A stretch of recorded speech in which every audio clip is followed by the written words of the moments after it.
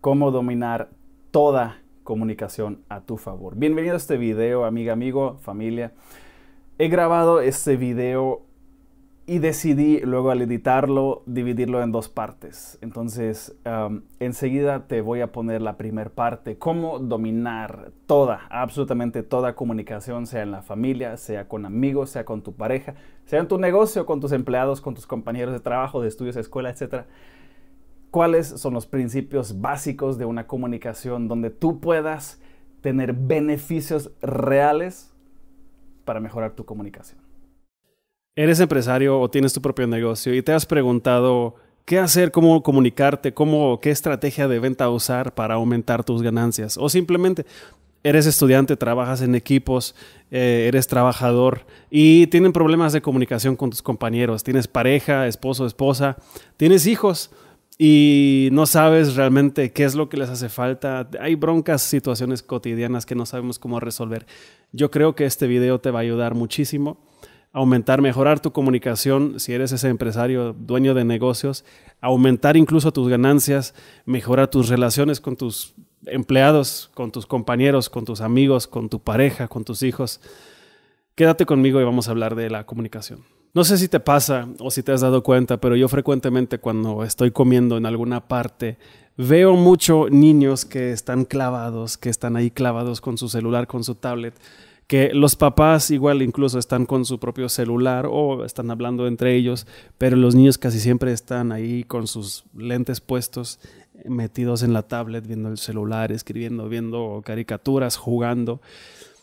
Y cuando tienen alguna pregunta, les damos justamente eso, el celular, para que se distraigan y para que nos dejen en paz, para que no nos pregunten. Pero el niño tiene esa curiosidad por naturaleza. No sabemos interactuar, no sabemos comunicarnos entre nosotros sin fastidiarnos, porque creo que no hemos aprendido una cosa muy esencial. Hablemos un poquito de la escuela. Cuando yo conocí a mi esposa, y esa es una historia verdadera, ¿sí?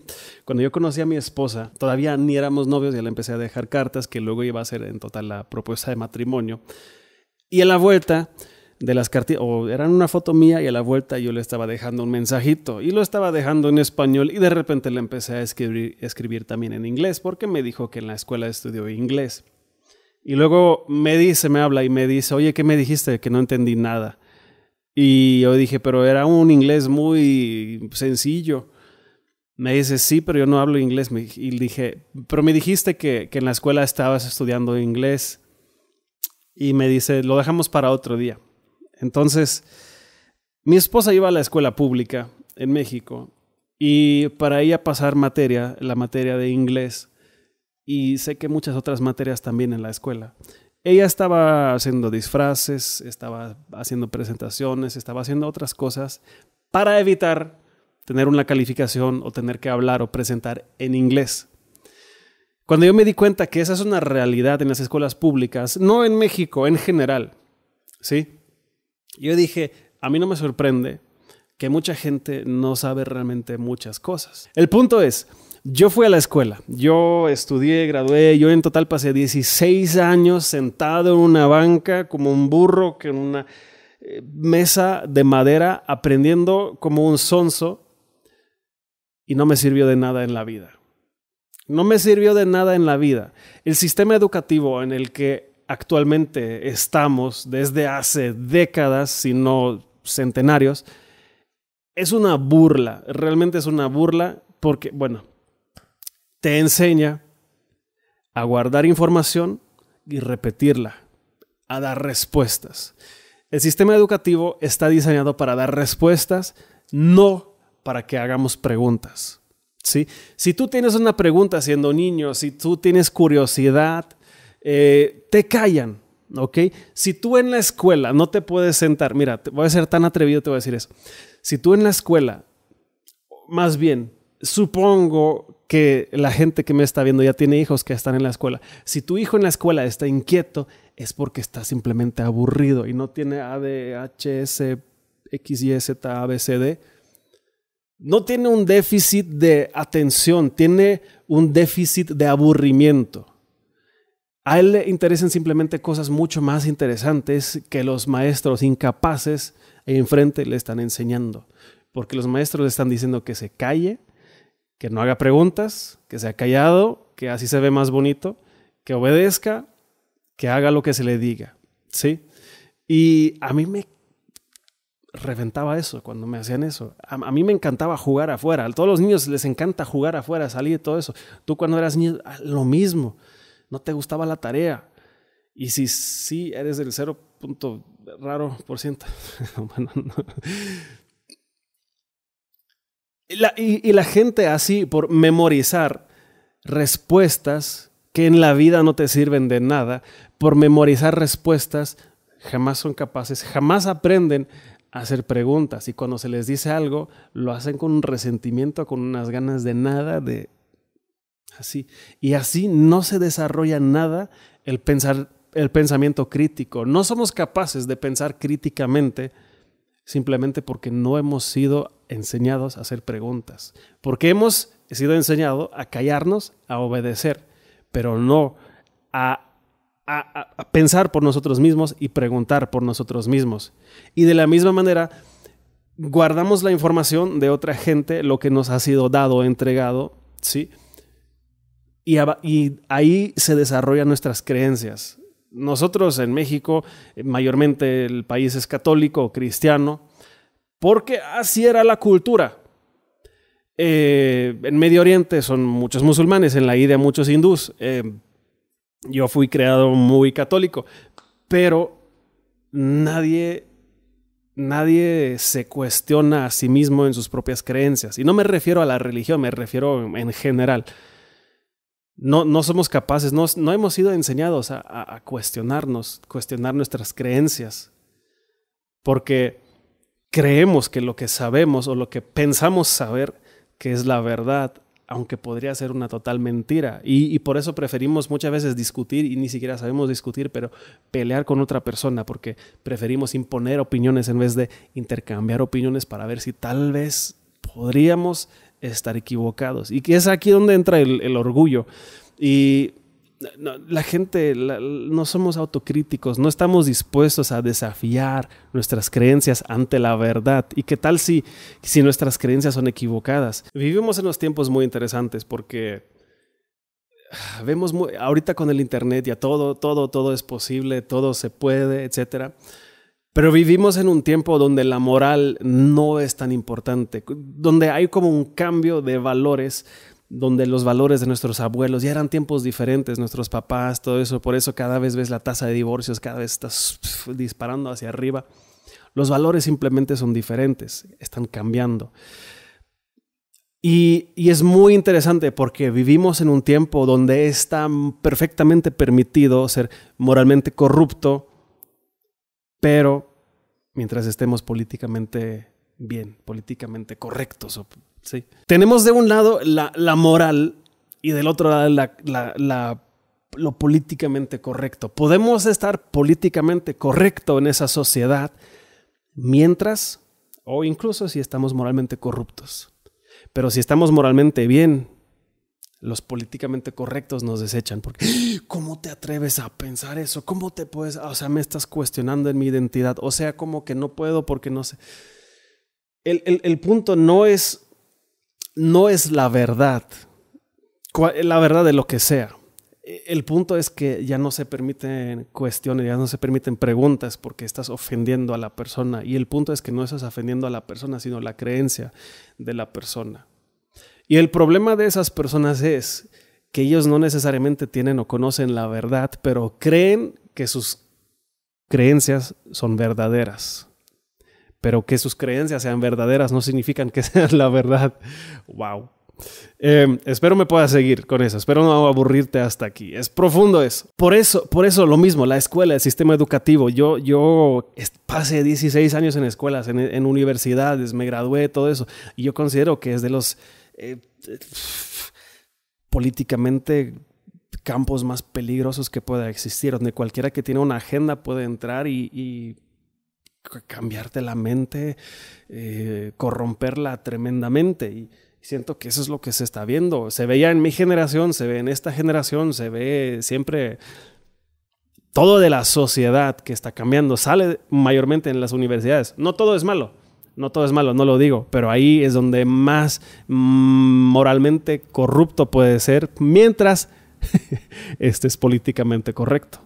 Y ahí el problema, si tú tienes una agenda que tú sigues, si tú eres, no sé, no, no quiero dar ejemplos, pero si tienes una agenda que sigues, es muy difícil despegarte de ese pensamiento y pensar libremente, cuestionar eh, tus creencias, cuestionar si todo lo que tú has creído hasta ahorita realmente es verdad. Y me preguntas, ¿cómo me, me hablaste de empresarios, todo eso? ¿Cómo eso aplica para mí? ¿Cómo, ¿Cómo puedo yo aplicar eso en mi matrimonio, en mi familia, con mis compañeros, en mi facultad, lo que sea? Espérame, necesitamos para empezar estar dispuestos a desafiar nuestras creencias, desafiar lo que nosotros creemos que es verdad. Porque la verdad no necesita un abogado, la verdad no necesita eh, alguna justificación, la, verdad se defiende por sí misma. Es, es, la mentira que necesita justificación y defensa. Si, si tú observas y tú le haces una pregunta a una persona y esa persona te rechaza, te critica, es, es porque esa persona no le gusta la respuesta porque probablemente la respuesta no sea la verdad. Porque a la persona no le gusta estar cuestionado porque no se sabe defender y se se ofende porque no se sabe defender con su coco, con su mente, con su, con su cerebro, con argumentos lógicos, con la lógica. Y muchas veces incluso la lógica no es el último, la última definición de la verdad. Entonces ten cuidado con esas personas que rechazan ser cuestionadas o rechazan las preguntas porque se ofenden, porque no les gusta, porque les incomoda la respuesta o incluso la verdad. Y es ahí donde, donde podríamos decir que las preguntas, cuando estamos preguntando, las preguntas son el primer paso para una mente crítica, para, para mejorar nuestra percepción también en nuestra propia vida, para mejorar la percepción de la otra persona. El sistema educativo no nos enseñó preguntar, nos enseñó responder. Entonces debemos dejar esto a un lado y empezar a ver por nosotros mismos y preguntar. Entonces ahorita pasamos la escuela, estamos listos para la sociedad, para conquistar el mundo laboral, hacernos ricos y darnos una mejor vida a nuestros hijos, darles una mejor vida a nuestros hijos. Pero ah, ya hablamos de eso. En la escuela realmente no nos enseñan mucho a comunicar, mucho a preguntar, mucho a, cuestionar. El punto es que no tenemos que cuestionar. Em, ¿Cómo puedes agarrar todo eso para la vida realmente, para los negocios, para las ventas, para tu familia, para tus compañeros, para tus amigos, en general, para mejorar tus relaciones, para mejorar tu vida y mejorar en general tu negocio, tus ventas, tus ingresos, incluso esto. Las personas son muy malas comunicando o son muy malos comunicadores porque no saben hacer preguntas buenas, porque no han aprendido a preguntar correctamente. Y la mayoría de las personas batallan para hacer buenas preguntas, porque no están pensando en las preguntas, porque no están interesados en la, en la otra persona, porque están preocupados más por lo que ellos mismos van a decir a lo que van a escuchar. No sé si te ha pasado, no sé si te ha pasado a ti o nada más a mí. Eh, en mi experiencia, sí, entras a una situación, tienes una, te hablan porque tienes algo que tienes que hacer.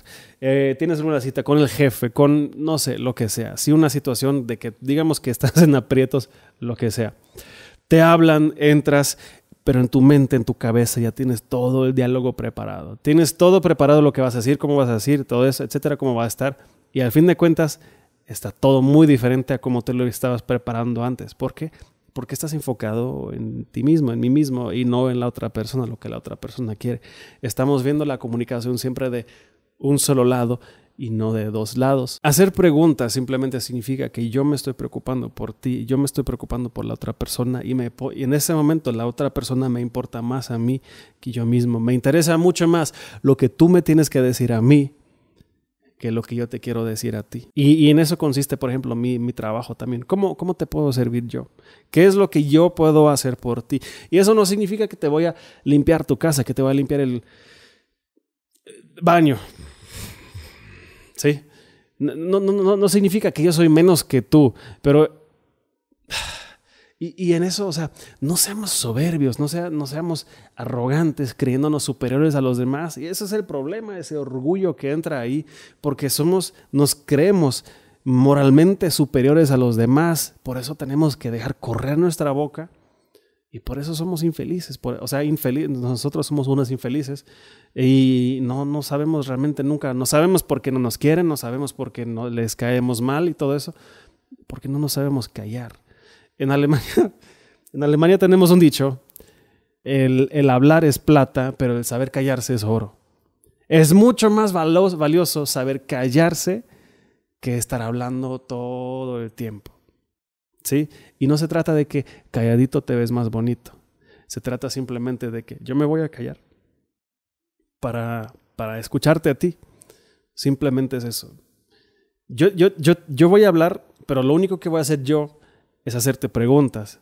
Y te voy a hacer preguntas para que tú me respondas y yo puedo ah, escucharte a ti, para que yo te pueda poner atención a ti lo que tú me tienes que decir. Yo no tengo que decirte qué es lo que tú debes hacer, qué es lo que tú tienes que hacer, qué es lo que, cuál es tu solución o la respuesta. Simplemente hago preguntas y tú me respondes. Y mayormente la gente cuando responde se está respondiendo a sí mismo las respuestas que quieren escuchar de la otra persona. ¿Qué te pareció el video hasta aquí? Esa comunicación es súper interesante, sea, no sé, siendo alemán en México, viendo cómo es la comunicación muy diferente. Y eh, como te mencioné, es la primera parte nada más. Si gustas, tengo un canal de Telegram. Ah, en la descripción del primer comentario puedes encontrar la liga para que te unas a mi canal de Telegram si quieres aprender más. Si no, quedo aquí. Cualquier pregunta que tengas, ponmela en los comentarios y te veo hasta el siguiente video. Un abrazo, cuídate, chao.